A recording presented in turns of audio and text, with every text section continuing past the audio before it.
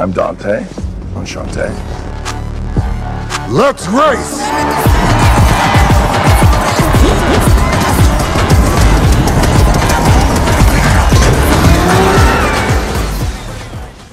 This film is the 10th part of the franchise, which tells the story of the challenging life of Dominic Toretto and his team. According to Vin Diesel, this film will conclude the main saga, but since it's not the last film in the franchise, I highly doubt it. Throughout each part, I had the impression that Toretto was desperately trying to make a name for himself, get Fury to pay attention to him and join the Avengers team, because he just can't inferior to, let's say, Captain America, right? Dominic would jump from great heights into water, rarely get any scratches during fights, and fly over bridges to save Letty. In Part 9 he even hinted that he is a descendant of Hercules himself, destroying concrete pillars in a secret storage of an international agency. Members of his team even went to space in their cars. The tenth part has no shortage of feats and absurdity as well. The film begins with a family dinner at Dominic's house.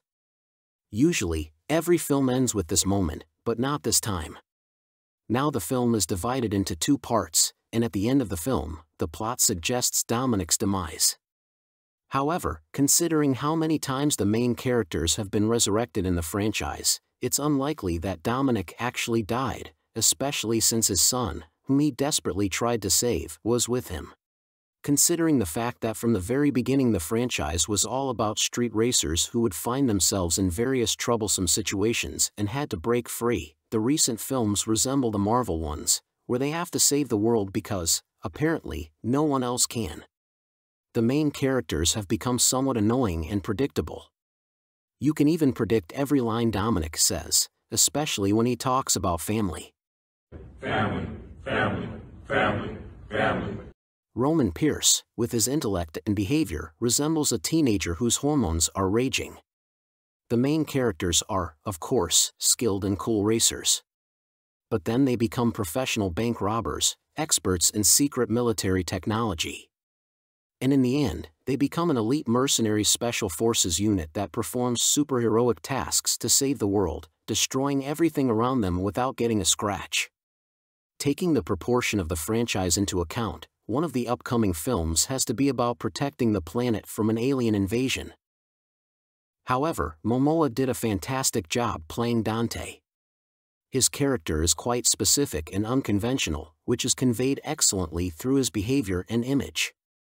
For the franchise, he becomes a breath of fresh air. Compared to all the villains, he appears much more confident. Dante is the only one who manages to outsmart Toretto. Of course, Cypher also forces Dominic to work for her, but only by threatening to kill his son. Dante, on the other hand, succeeds in separating all the members of the family so that they can't come to Dominic's aid. By the end of this film, we are shown how almost all the people close to him die under carefully orchestrated circumstances. However, if that were true, there wouldn't be any more films to follow. Therefore, if Dominic manages to survive in the 11th part, the next villain should be an adapted version of Thanos to give them a worthy adversary to face. In conclusion, I hope that the 11th film will be the final one for the entire franchise because there is nothing left to surprise the audience with. There are too many illogical and absurd moments that have ruined the overall picture.